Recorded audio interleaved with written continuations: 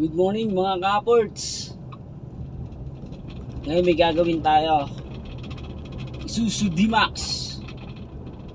4JK1 engine. Papalit tayo ng fuel filter.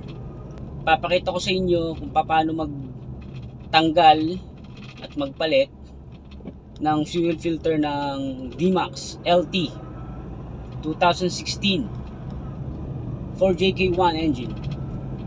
Tara!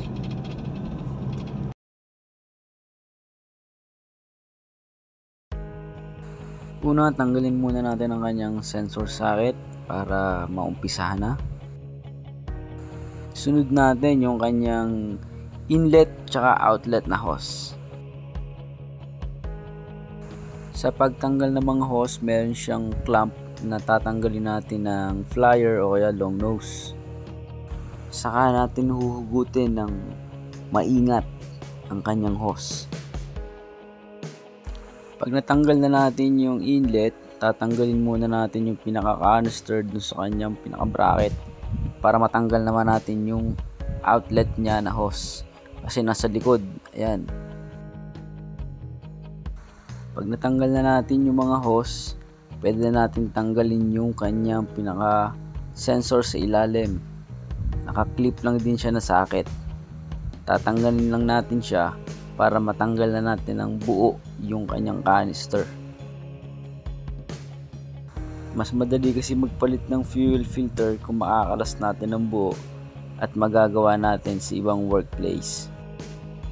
Meron siyang pinaka roscas na pipihitin pa kaliwa para matanggal natin yung pinakatakip niya at uhugutin niya natapunan pa. Makikita na natin yung luma niyang fuel filter. Pwede na natin siyang palitan. Ito ang bago niyang fuel filter F193 na VIC para prime class. Yan, madumi na talaga yung isa. Ilalagay na natin sa kanyang canister yung bago niyang fuel filter. Papalitan din natin yung kanyang pinaka o-ring na pinakasil niya para hindi magkahangin. Lalagyan muna natin ng konting grasa yung kanyang bagong o-ring para ma-sure natin na hindi siya madadamage pag sinalpak natin yung pinakatakip niya. At para hindi rin siya magkalik at pagkatapos pwede na natin isalpak ang kanyang pinakakap para maikabit na natin. Iikot lang ulit natin yung kanyang pinaka roscas pakanan, pahigpit at hahanapin lang natin yung pinakamaigpit niya. Mararamdaman mo naman yung pag maigpit na. Meron siyang parang nagkiklik samahan na rin natin ng konting linis para kalas na rin naman. Lilinisin na rin natin. So mga kapords ikakabit na ulit natin ang ating napalitang fuel filter. So ibabalik lang uli natin yung tinanggal nating mga sensor clips ikakabit muna natin mga kapords ang kanyang inlet hose para maipump at mableed. Pag naikabit na natin ang hose at ang kanyang clamp pwede na natin siyang ipump.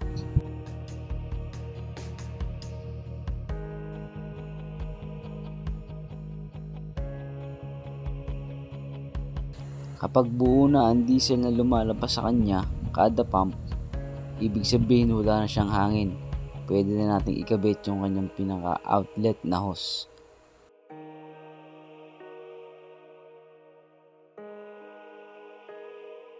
Kapag napakabit na ng maayos ang kanyang outlet at saka inlet na hose pwede na natin siyang ibalik sa kanyang bracket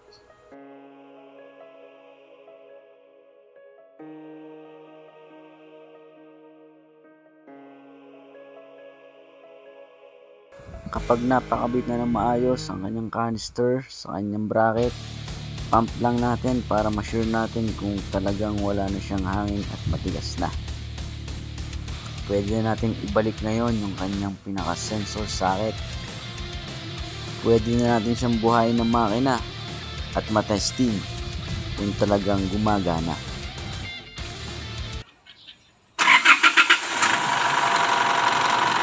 Oh my! Buhay!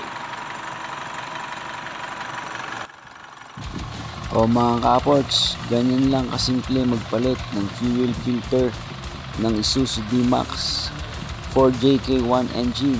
So don't forget to subscribe!